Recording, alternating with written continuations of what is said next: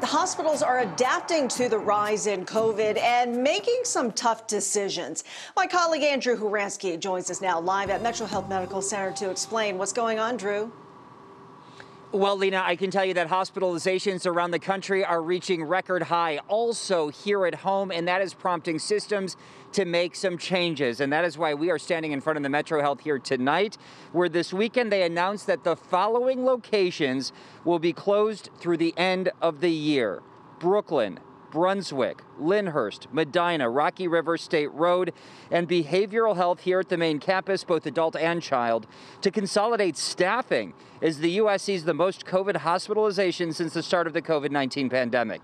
Now, since September 1st, hospitalizations in the U.S. have doubled and are now nearing 100,000 with fears that the Thanksgiving holiday only fueled the surge.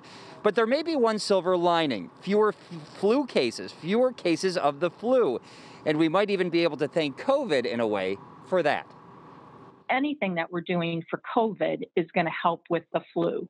Um, because again, they're both uh, a, a, majority of the way COVID is spread and the way that we know the flu is spread is by droplet.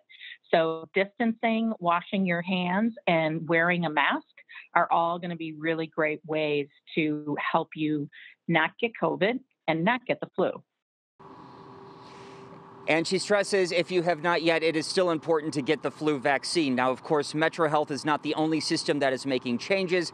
Tonight at 11, we'll tell you about some of the others, including what they're doing over at the Cleveland Clinic as well as UH. Lena? All right, looking forward to that. Thanks.